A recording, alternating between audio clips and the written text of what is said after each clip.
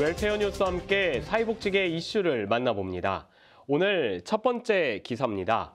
장애인 화장실이나 장애인 전용 주차구역 이용 불편 신고 등 이 편의시설 관련 민원이 급증하고 있습니다.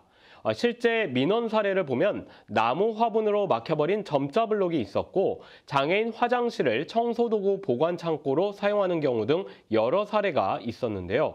국민권익위원회가 지난 2021년부터 지난해까지의 민원 분석을 해봤는데 그 결과 장애인 편의시설 민원이 매년 급증하고 있었습니다.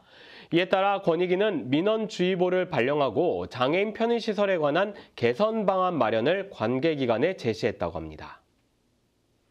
다음 뉴스입니다. 어, 최근 장애인 당사자들의 창업이 활발해지면서 이와 관련한 중앙정부 차원의 지원도 다양해지고 있는데요. 장애인기업 종합지원센터가 창업을 꿈꾸지만 자금 마련에 어려움을 겪는 예비 창업자와 업종전환 희망자들에게 최대 2천만 원의 사업자금을 지원합니다. 특히 센터는 올해부터 중증, 저소득, 여성장애인 지원 쿼터제를 실시해 사회적 배려 대상의 참여 기회를 확대한다고 합니다. 또한 만 39세 이하 장애 청년이나 대학생 경진대회에서 수상 경력이 있는 장애 학생에게는 가점을 부여한다고 하네요. 신청 기간은 오는 6월 3일까지며 신청 방법과 제출 서류는 센터 홈페이지에서 확인할 수 있습니다. 다음 뉴스는 이 배리어 프리 영화 위원회가 이달 30일까지 2024 barrier free 단편 영화 제작 지원 출품작을 공모합니다.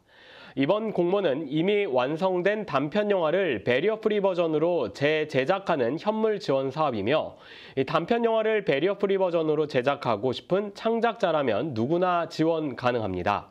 위원회는 올해 최대 3편의 단편 영화를 선정해 지원할 예정이고 완성된 작품은 오는 11월 7일부터 14일까지 열리는 제14회 배리어 프리 영화제에서 처음 공개합니다.